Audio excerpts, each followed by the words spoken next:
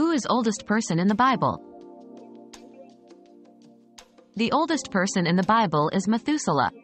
According to the book of Genesis, Methuselah lived for 969 years, making him the longest lived person mentioned in the Bible.